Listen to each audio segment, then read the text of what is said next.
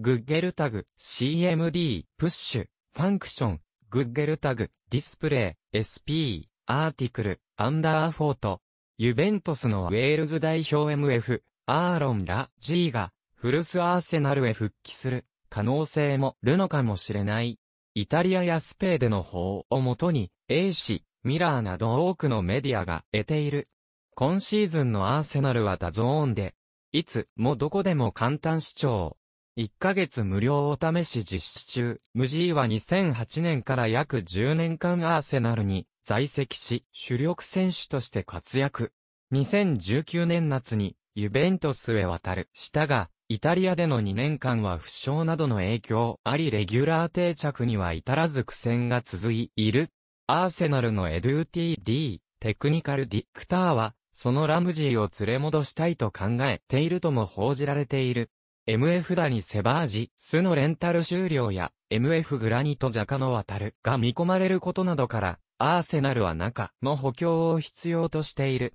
一方でユベントス、アーセナルのスペイン代表 DF、エクトル・ベッジ、リンの獲得に関心を示しているという。ベッジ、リンの獲得に向け、アーセナルに、ラムジーを渡した上で移籍金の差額を支払うことを引下げしたとの報道もある。アーセナルは、補強資金、売るため数人の選手たちを売却することを打ちしていると見込まれており、ベジェリンもの候補の一人。実現すれば、両クラブと選手ら、利害が一致する取引となるのかもしれない。